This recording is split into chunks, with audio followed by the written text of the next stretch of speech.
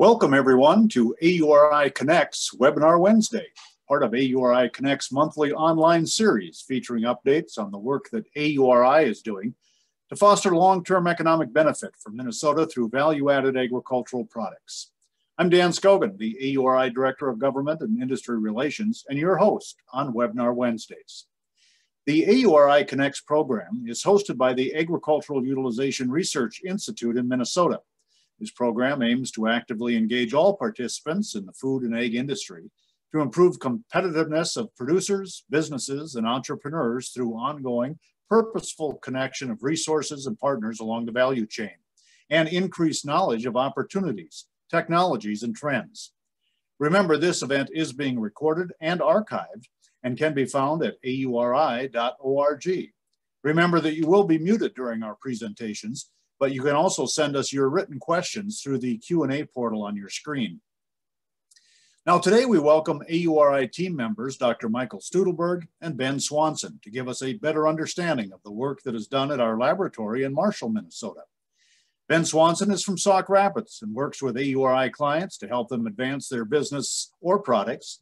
And this may include anything from nutritional analysis, locating suppliers or co-packers and more. Ben received his undergraduate degree in chemistry from the University of North Dakota. Dr. Michael Studelberg is a jackrabbit from South Dakota State University, where he received his PhD in chemistry. He leads and manages AURI's analytical and bioproduct laboratories in Marshall. His background includes experience in analytical method development and organic chemistry. So Ben Swanson and Michael Studelberg, welcome to Webinar Wednesday. Thanks, Dan, for the uh, the great introduction. I would uh, like to start off uh, and, and, welcome you all uh, to join our webinar Wednesday. Uh, I'm Michael Studelberg with AUR, AURI, and it's my pleasure to uh, begin uh, discussing AURI's Marshall Laboratories. Before we get started, I want to go through before we get started discussing Marshall's lab capabilities, I want to I want to provide some background information about AURI. At, at AURI, we help develop new uses for agricultural commodities. We were created by the Minnesota legislature about 30 years ago.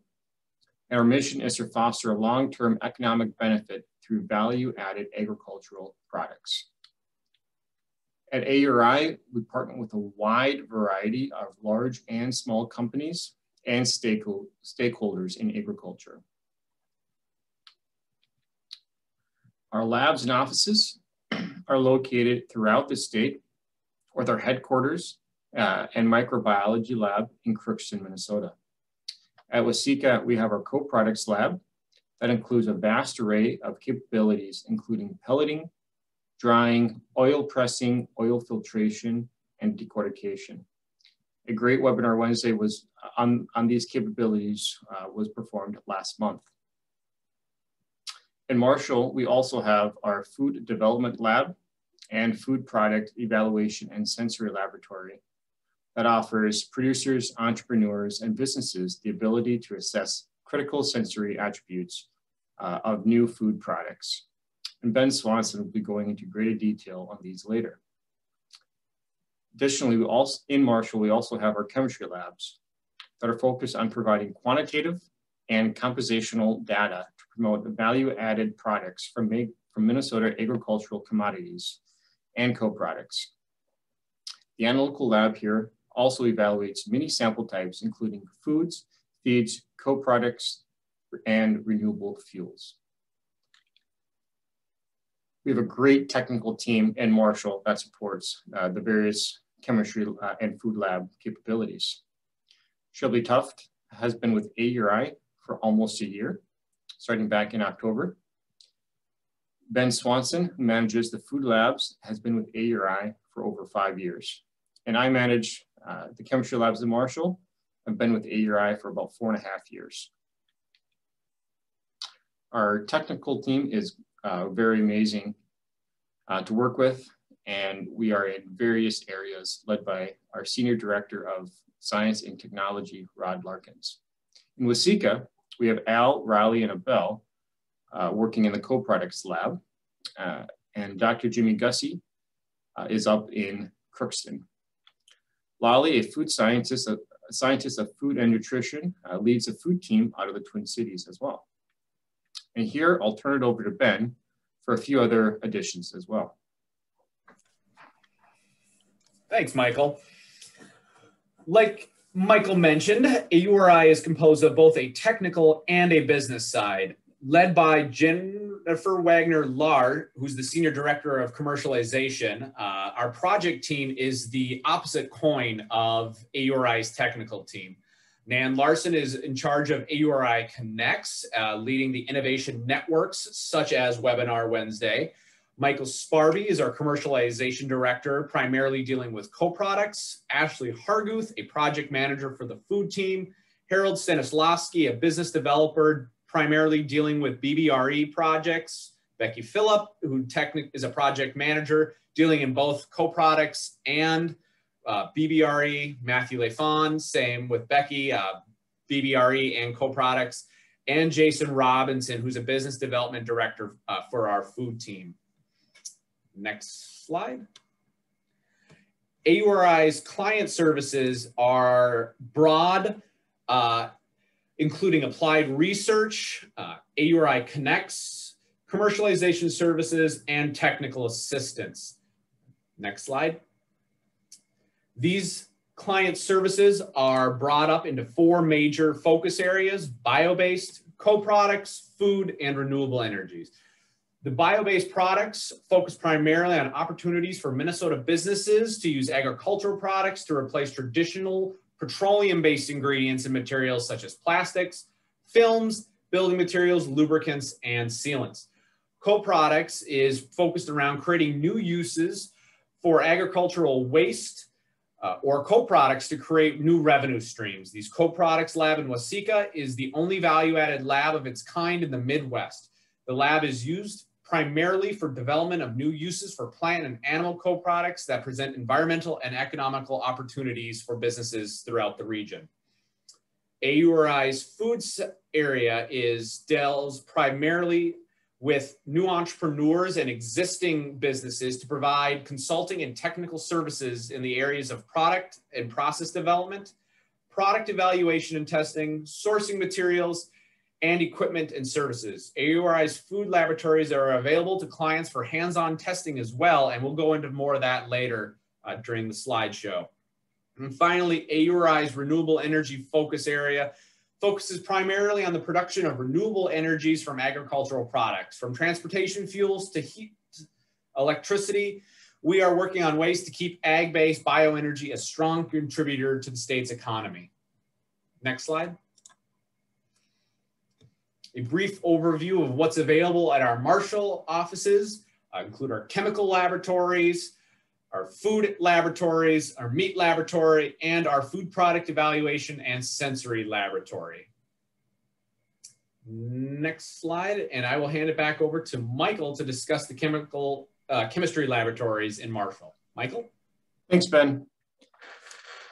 So I'd like to get started here on the chemical, the analytical uh, testing capabilities that we have uh, in Marshall. We do a wide variety of testing in all of, from all of our focus areas. Um, and the, the pie graph that we have here um, on the right is a good representation of what we mostly test for in agricultural products. The pieces here of the pie can also be broken down into further chemicals, allowing us to get greater detail as well. The support we provide in the chemistry labs aid each of our focus areas. And I will, over the course of the next uh, few slides, I'll showcase different instrumentation and equipment we have that allows us to perform these tests.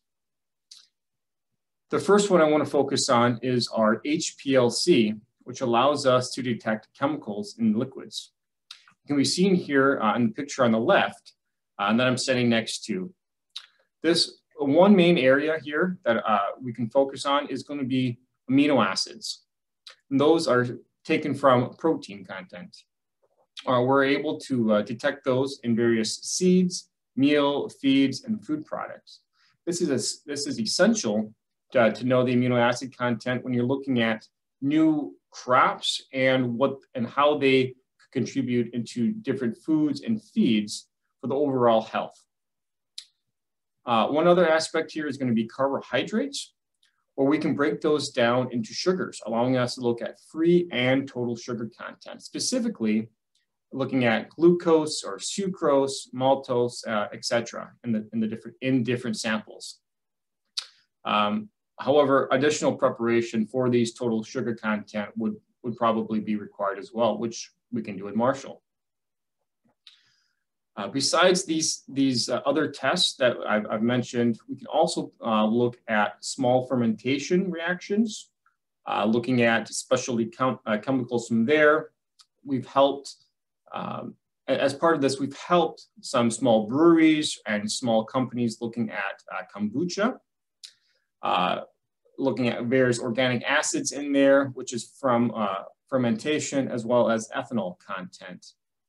Uh, this is important because some uh, kombucha and non-alcoholic beers have to have a mac, they can't be uh, above 0.5% ethanol content.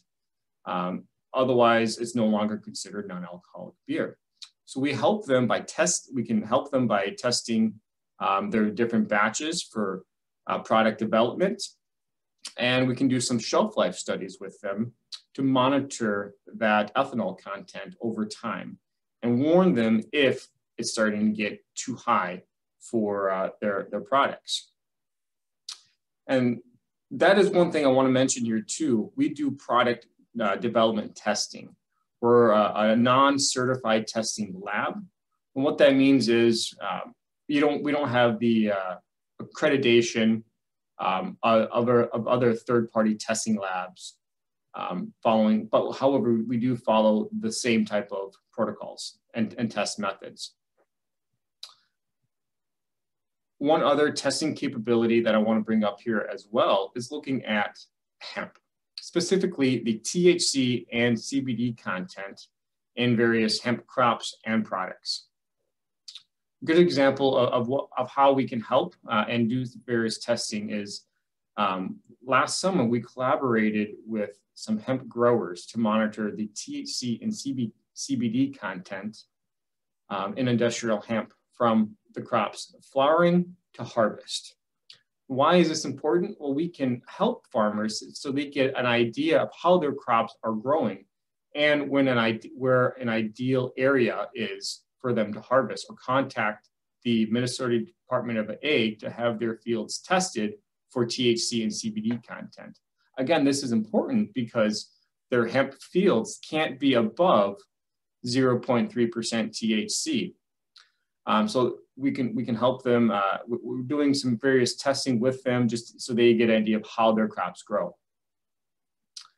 Additionally, we can also we also uh, have produced uh, different test methods that I haven't mentioned here for various clients as well.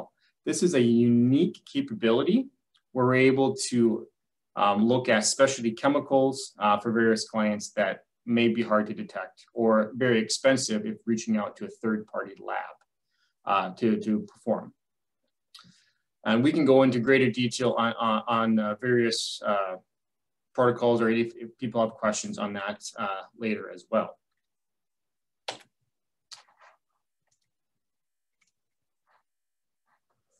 Um, here, uh, additional e equipment uh, and instrumentation we have uh, is our solvent extraction unit here um, in the orange uh, piece of equipment on the left. Uh, we can use that at room temp or at elevated temperatures and is primary, primarily used um, for fat extraction. Again, that's part of that uh, pie, pie graph that I, I, I was talking about. An interesting component of this is we're working with the Forever Green uh, team out of the University of Minnesota, looking at new uh, crops, including some oil seeds, which will have elevated oil content or fat content in those seeds. Uh, we've, uh, this allows us, um, th this equipment allows us to look at the oil content and also determine pressing efficiency from an oil press that we have in Waseca for the oil content of these new seeds as well. So a lot of interesting capabilities uh, here as well too.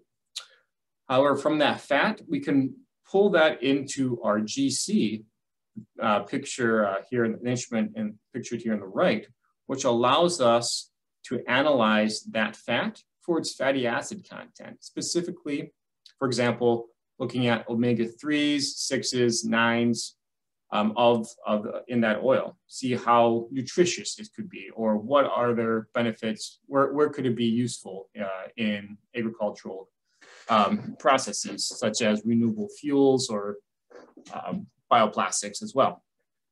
Uh, the instrument here allows us uh, to bring gaseous or liquid samples um, into a gas phase by heating uh, without decomposition. And again, I mentioned this instrument is used primarily for fatty acid analysis, but we can also use this for biodiesel uh, analysis, which is going to be using, uh, converting those fatty acids um, into a uh, fatty acid methyl ester. So we can look at conversion uh, of, uh, oils into biodiesel as well for renewable fuel products.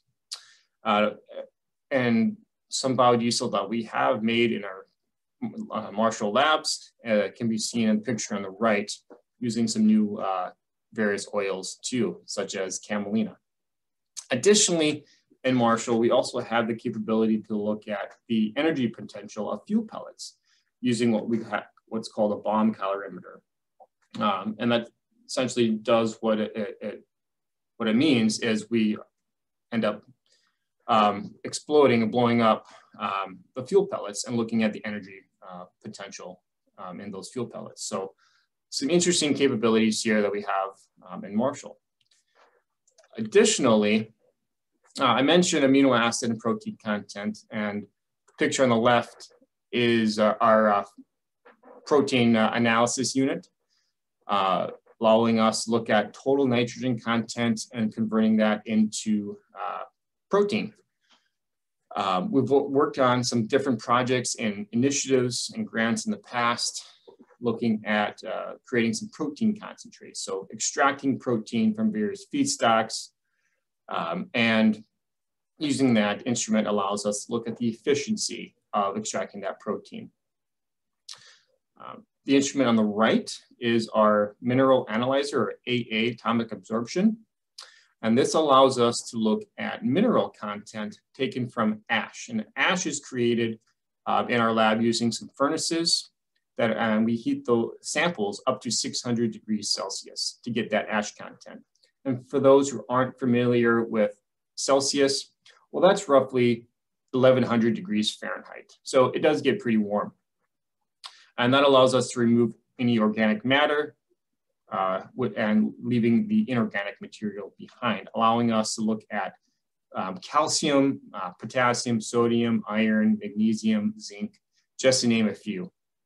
And this is important because we can look at micronutrients and various feedstocks and, and new, uh, new crops, look at soil, uh, new feedstocks for um, anaerobic digestion potential, a lot of different interesting capabilities um, with that as well.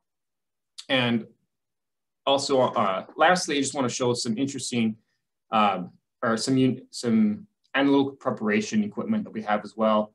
A lot of different capabilities, but this is, this is going to be good. This is a cold centrifuge, um, which is important if you're doing some preparation of uh, samples that need to be uh, kept under cold conditions so they don't degrade uh, before you can test them. So that's just one aspect that we have. Um, and lastly here, I want to talk about some chemical processing capabilities that we, um, especially for our bioproducts lab. Um, we can do some scaled reactions using our various Parr reactors, which allow us to do um, chemical uh, reactions and extractions under high pressures and temperatures. Um, from a few hundred milliliters up to some liter capabilities. So again, another unique capability that we have down here. Um, including uh, from, from uh, these reactions, we also have some, uh, these can go into some of our additional processing, which is um, evaporative techniques using a rotovap, large separators we have to uh, just clean up the samples and add some purification in there. Uh, again, another uh, main use for this, um, we've mentioned this a few times, but is some biodiesel synthesis. And we're actually doing um, some work now on some new feedstocks for biodiesel, um, specifically focusing on camelina and pennycress oils and seeing how those could be used um, for biodiesel analysis or for biodiesel. Um, from here, um, the, the, this, this is just a, a, brief snapshot of what we have in Marshall. If there are questions um, later on, please uh, happy to go into greater detail on the different instruments and techniques that we have. Uh, but until then, I'm going to turn this over to Ben Swanson. He can go into uh, greater detail on the food um, as food lab aspects that we have here in Marshall. Thanks, Michael. Uh, next slide. So I, like Michael mentioned, I'll be diving into some of the food side or food labs that I'm in charge of here in the Marshall, starting with our general food or product development lab it is a 700 square foot retail licensed facility that is equipped with various pieces of equipment that uh, are traditionally found in commercial kitchens, including um, mixers, ovens, cold storage, uh, fresh product storage, freezer space, vacuum sealing.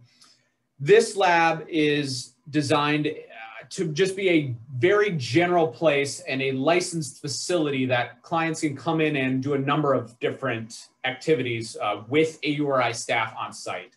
Um, like I mentioned, it's retail licensed. This means that um, anything that comes through here, it can be inspected. We currently have some clients doing market and or market research with a wholesale license. Uh, so they can then make the product, package the product here on site, and go sell it to various other facilities or retail spaces, um, however they see fit. Um, another thing that work uh, they can work on here is with their formulations. Scaling up is an instance. Um, sometimes what happens is you just uh, going from making 100 jars of jam to a 1,000, 10,000 can really have some kinks in it. Uh, so working with some pieces of equipment, uh, like I said, equipment demo, on site with us here really helps us navigate some of the issues that arise during scale up processing. Um, one thing we're trying to improve upon the capability and expand here at AURI is with some of these having more larger scale pieces of equipment that clients can come in, sort of a try before you buy kind of a deal. One thing we noticed when working with clients uh, through their various commercial kitchens is not everyone has the same setup. Not all commercial kitchens are created equal. So one thing we want to do is offer through you know various client projects, we started noticing certain products, certain pieces of equipment that were difficult to find.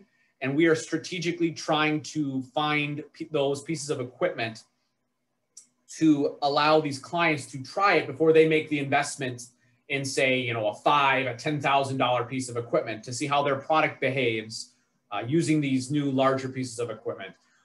One such thing we're currently in the process of trying to get a hold of is a steam kettle.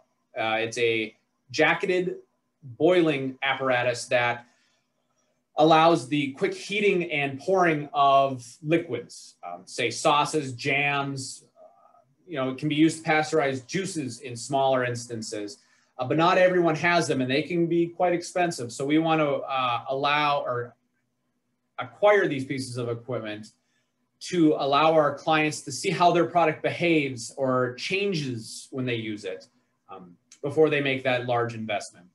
Other pieces of equipment we are seeing a need arise uh, and are possibly looking into getting a new piece of equipment. Uh, we're seeing a lot of new health juices, uh, new drinks, uh, shrubs, non-alcoholic beverages that need to be heated and bottled.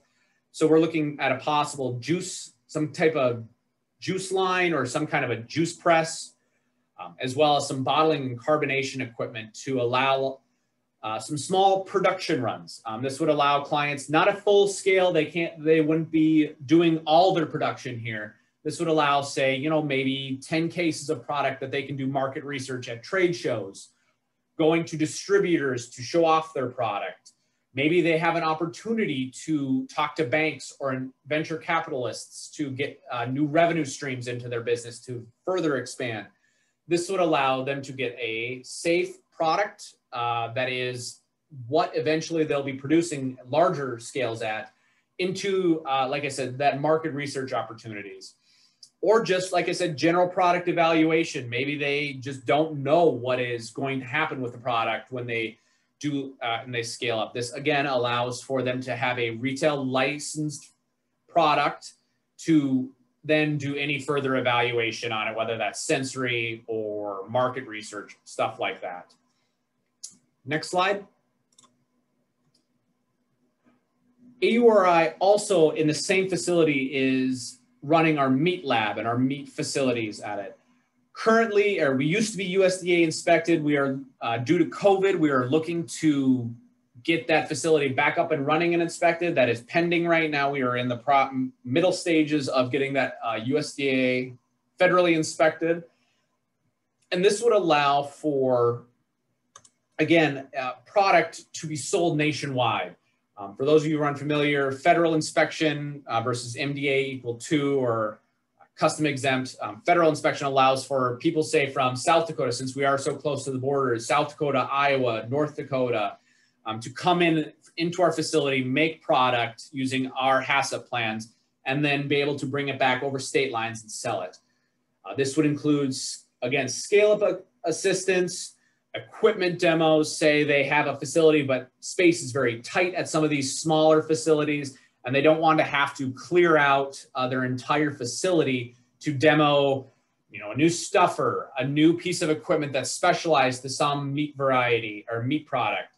This, we have, like I said, this 700 square foot facility, and if it's USDA inspected, this allows that equipment to be brought in uh, using our HACCP plans, that we could use the equipment, they could get their product, package their product, slap their label and um, on it, and then bring it back and then sell it in their retail facility or their uh, distributor chain and see how it behave or how consumers like that product before investing in say a, some of these pieces of equipment can cost 30 40 50 thousand dollars and that's quite a large leap um, to, to, to do blindly. We also offer shelf life guidance in the meat packing or the meat industry uh, you know if it's or a shelf stable product it needs to be under 0.85 water activity. So we work on formulation changes. We just got done with one client who was trying to get a product that is frozen or refrigerated right now.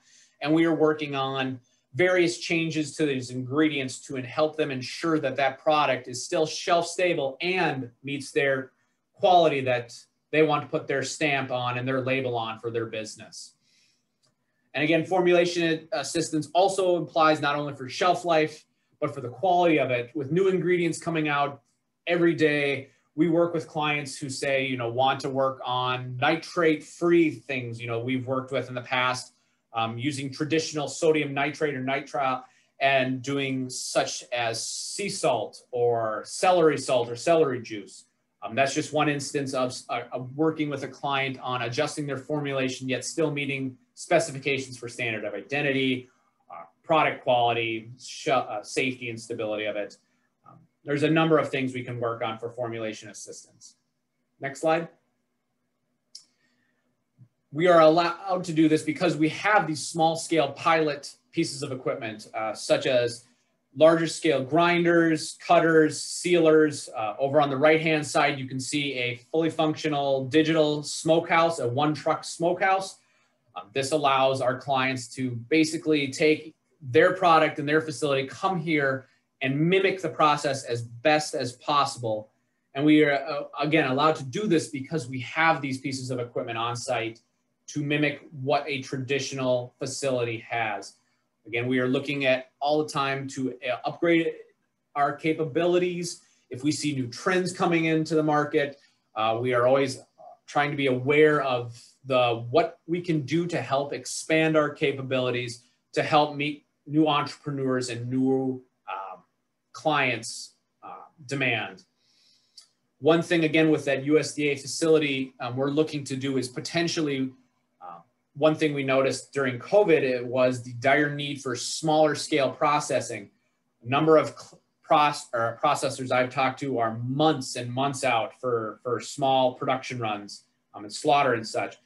And we're seeing potentially the need for new facilities to come online.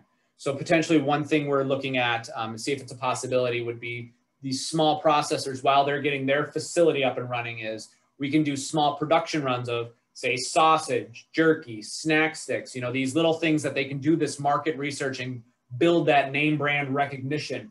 Where we would be able to offer small strategic production to allow them to slowly build that name brand recognition and those sales while their facility is being built up. Um, again, that's why the federal inspection um, is, is key to some of these future plans for the meat side of this food lab and meat lab facility. Next slide. The newest addition to AURI's facilities on campus here is our sensory product evaluation laboratory. It is a space here in Marshall to do a number of sensory, traditional sensory uh, evaluations. Um, not fully what a, uh, some of the, the U of M offers, but more targeted, more early level production.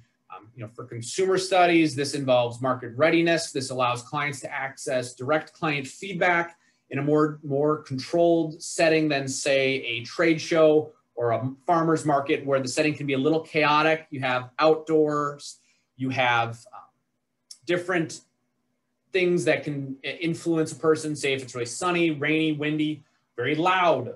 You know, they, the, all these little things can influence a consumer's opinion on something. So this facility offers a quiet, very neutral place uh, for feedback consumer acceptability basically this is what when people think you know you rate it on a scale of one to five one to seven one to ten you know this allows them to how much do you like the product? And allows them to see you know what the general feedback on their product is. We also offer some comparative and difference testing uh, such as benchmark testing. You know they if someone has a barbecue sauce and they want it to con, uh, compare it to a leading barbecue sauce in the market we can do a side by side blind comparison to say, you know, if they're trying to say, hey, I want my product to be like X, X's product, we can, you know, do a difference testing to see how well theirs compares to it um, and see if there's really that much difference into it. Maybe if they like it or not better than that one as well. Another form of this testing can be new ingredients, you know, with con- constantly changing consumer demand and do, consumer preferences. We're seeing entrepreneurs constantly being on their toes for what's what's in, what's new, what's accepted by the consumers. And this allows them to see, you know, if they change this ingredient, does it really change what their product is like? For instance, the gluten-free craze that happened uh, a number of years ago, everyone wanted to get rid of gluten. So, you know, but they still wanted that high level of quality product that was associated with uh, the gluten in, you know, wheat inside of it.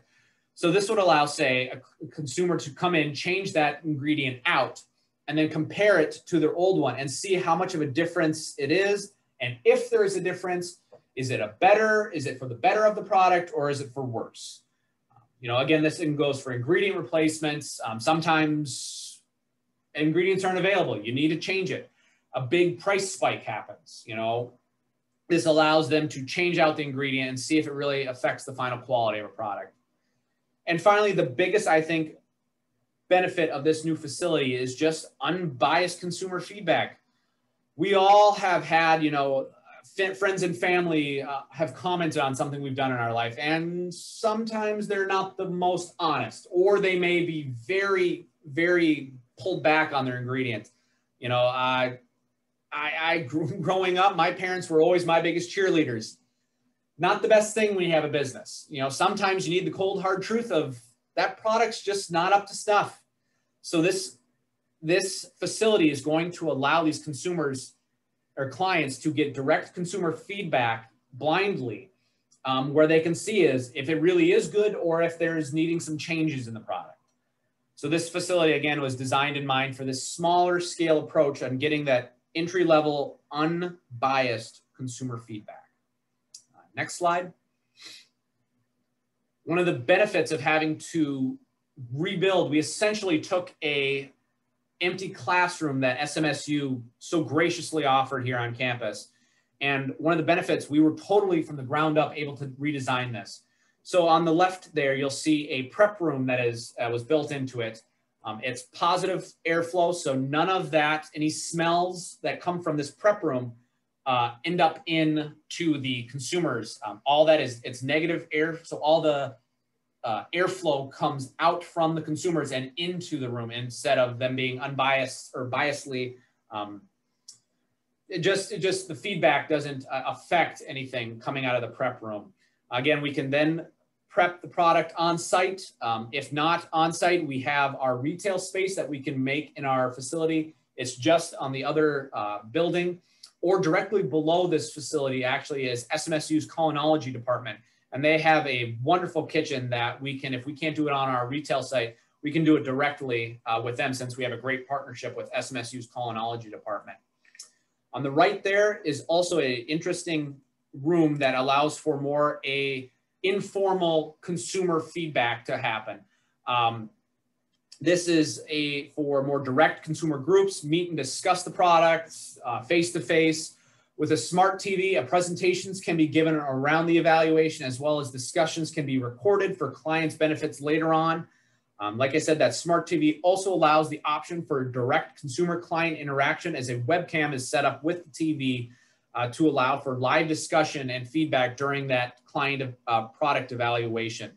Um, since most of our clients uh, are not in Marshall, uh, Twin Cities, or further abroad, this is a great opportunity uh, for clients to just Zoom or Teams meeting in to discuss that and not have to drive, you know, sometimes it's hours and hours away um, to get that direct face-to-face uh, consumer feedback.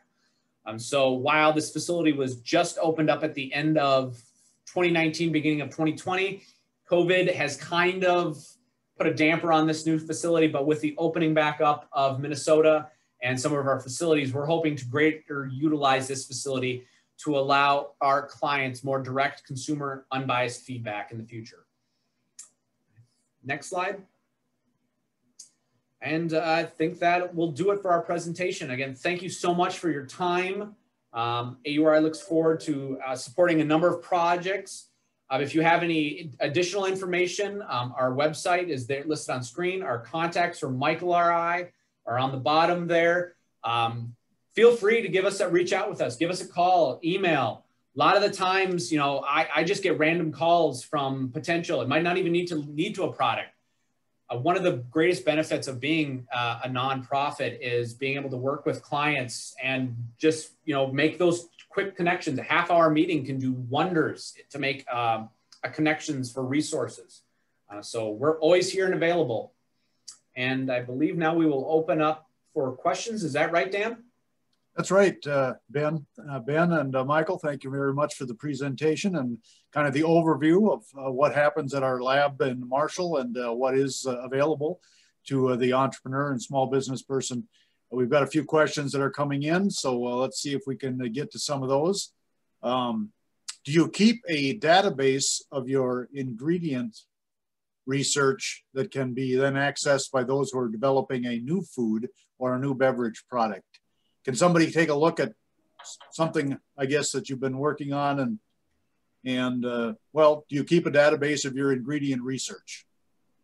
Depends on the product. Um, sometimes, at least on the food side, it's client specific. If it's a proprietary or trade secret of a specific client, that will be kept.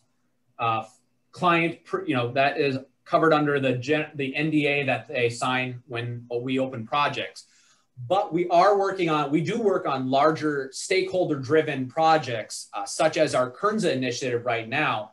Any and all available uh, material from that grant is available online. Uh, we will, we do publish it. We do have that readily available. Um, say, you know, we, we did a study on how Kernza behaves in the brewing industry.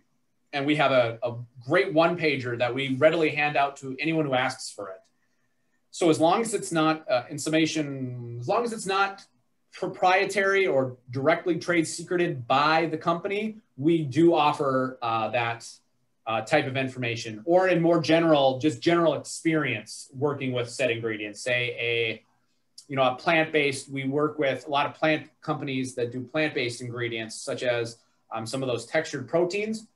while I might not be able to directly comment on, you know, company one, two, or three's process, I am able to use that experience to more generally help out. Again, as long as it's not directly proprietary to that company. And they they added to that just uh, being specific to uh, solving a problem. Uh, if you if you develop some or find a a, an ingredient that solves a problem, do you make that available or does that have to be proprietary to the client you're working with as well? I, I would say um, a lot of the, the ingredients um, that were that are crops that are new um, are public, uh, and so that information is disseminated. Um, there's a cam, you know, specifically camelina and pennycress, some new crops um, that are uh, new cover crops um, so that that's gonna that's gonna be public knowledge. Uh, but if there, I mean, maybe uh, Christopher, is there a, a specific um, problem that you're looking at, or just overall um, ingredients? Could maybe give us a follow up question. Yeah. yeah. Um, but otherwise, there is a, a USDA um, or right, Ben, USDA or FDA database mm-hmm. on different food ingredients that is also public knowledge as well. Yeah.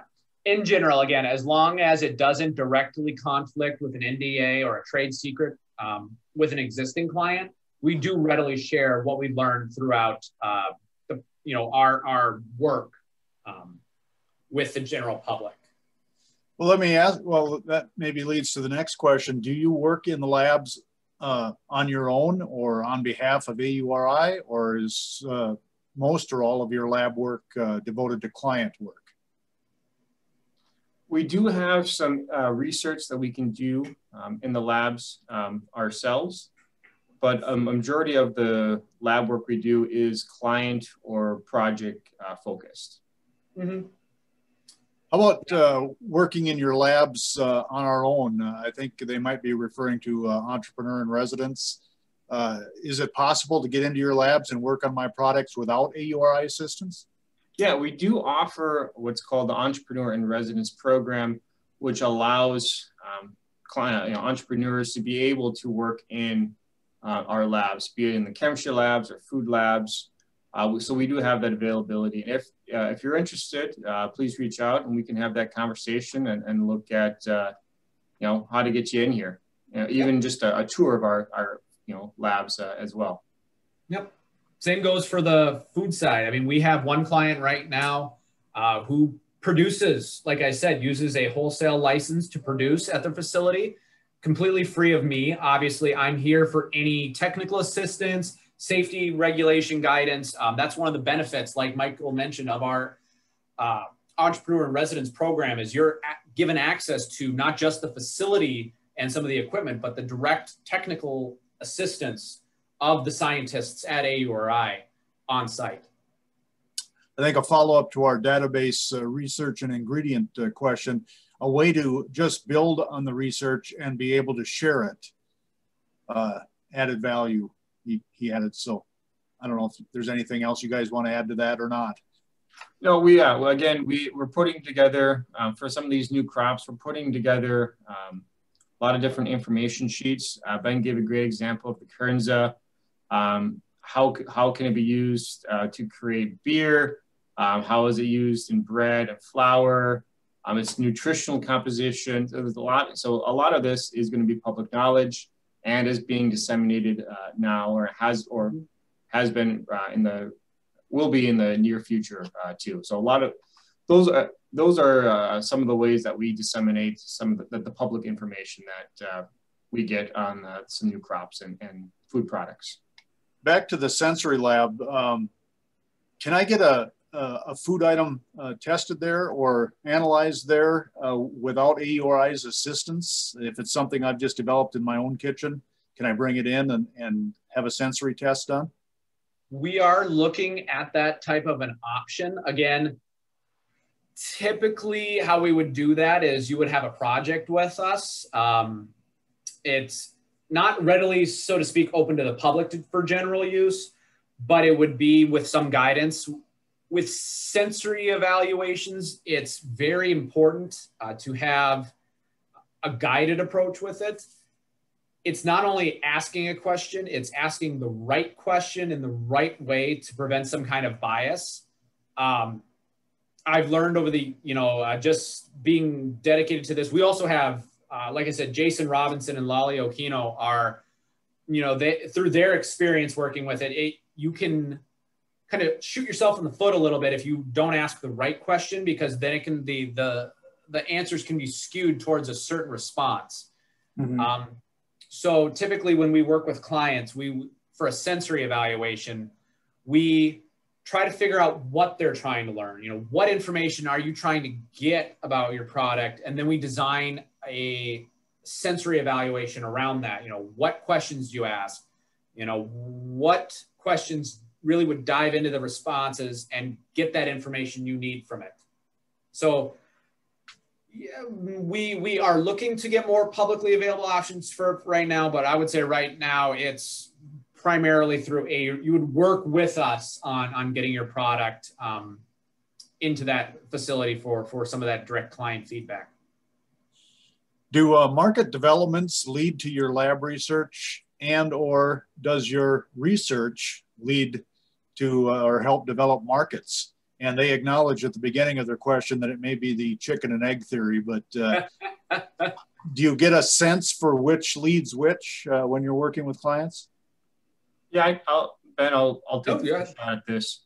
Uh, it's, it's a little bit of both we always try to look and see what are the uh, incoming trends um, trying to see around corners we're, we do this by talking with our stakeholders, talking with clients to see what, what they're focusing on and what, what they're seeing. Uh, additionally, with these new crops like industrial hemp, uh, camelina, kernza, uh, pennycress, there needs to be a market for them as well. So we have to do some of the research to get um, producers using them, businesses using these products um, in different, different aspects. So there is a market for when these start to build up. Addition, another good example would be uh, protein. Um, so looking at protein functionalization, um, new uses of, you know, new, um, new, new sources of protein um, from camelina and pennycress, uh, pea protein. Um, a good example, you know, additionally, we've, we've also written some reports. Um, there's a protein report on our website and industrial hemp report on our website uh, as well that you could go look at for different uh, you know, markets uh, as well. Um, but hopefully that uh, answers. We, we do a little bit of both, talking with clients, talking with stakeholders, but also helping um, test products and, and look at uh, commercial, commercialization aspects. Does AURI conduct uh, or hold food uh, safety training seminars and programs? Right now, we are looking into the needs of that, but traditionally we work with state other stakeholders, partners in it. Say the U of M, we have some working relationships with process authority members to uh, directly work with. Uh, we work with them. Um, we don't necessarily put it together ourselves, um, but we help guide clients uh, towards the needed resources. So, say you know, I just worked with a client on selling you know jams and jellies um, one of the things they need is a process authority letter uh, to, be, to be safely selling their product.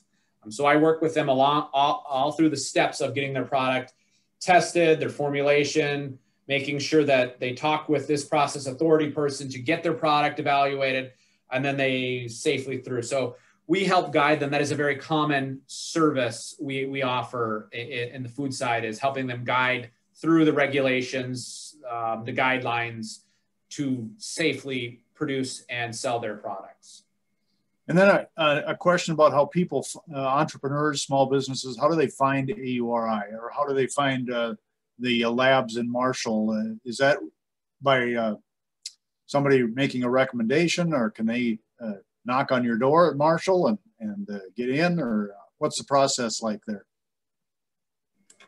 Michael, you want to handle how you guys handle it on the chemistry side? A little, there's a yeah. little bit of difference between the two of us. Yeah. Uh, so a lot of this is going to be project and client focused. So uh, working with our project team, um, to and, and uh, talking through what you're looking at, um, what do you need to get tested, um, and you know opening a project with us to, to get, be able to get in, and uh, then we can do those those tests on your food or ag product um, as well. Mm-hmm. otherwise, you know, word of mouth. Um, we go out to various uh, you know, present, we, we go to different expos uh, as well and you can meet us there, talk to, uh, you know, the, the project team or, or tech team and, and see how we can help you. Mm-hmm. Yep. Similarly, we start on the food side, you know, just a general conversation, whether we've had word of mouth, MDA recommendations, commercial kitchens, you know, some people's commercial kitchens uh, just recommend us. Um, you know, like Michael said, there's a number of ways to get a hold of us. Direct contact works a lot too. Um, and on the food side, again, it starts with a general discussion of your business, your product, your process. Sometimes uh, entrepreneurs don't even know what the problem is. Uh, and they can just like, hey, where do we start? And that starts a conversation with them. If, you know, sometimes they don't even need to start a process or a project with us we have number of just handout, you know, one pagers, electronic links. You know, we can point them in the direction of some really good resources to kind of chew on uh, before they come back with a project. But if it is decided that a project is uh, needed um, and they would benefit from one, then we do have an onboarding process of you know putting together a workbook, talking further discussions with them to make sure they're getting all the necessary help that they need. Again, sometimes you know they'll come to us for just simple nutrition labels but it you know we find out oh you might need some assistance with regulations or licensing. Maybe you need scale up or equipment uh, or ingredient sourcing and stuff like that. So these direct conversations can really open up and make sure that we offer strategic and tactical assistance um, to where entrepreneurs need them most. Well said and i think we'll leave it there today uh, thank you, gentlemen, for uh, the presentation and for uh, spending a few minutes with us on some uh, questions and answers about what happens in the labs in Marshall. Thank you so much. No problem. Thank you. That concludes AURI Connects Webinar Wednesday for today. We want to thank Dr. Studelberg and Ben Swanson for their time today. AURI Connects Webinar Wednesday is presented by the Agricultural Utilization Research Institute of Minnesota.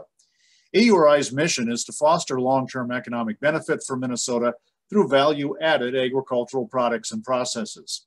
We are interested in your feedback, so we ask that you please respond when we send you our event evaluations. Remember, for more information on today's program or on any of the work that AURI is involved with, you can go to auri.org. Join us next month on July 14th for an overview of Minnesota's aquaculture industry. Experts will identify and discuss industry challenges such as pairing species with effective production systems, navigating complex regulatory systems, and establishing economically viable operations in the state. You can also learn more about other work that AURI is involved with by going online to auri.org. And we'll see you July 14th for another AURI Connects Webinar Wednesday.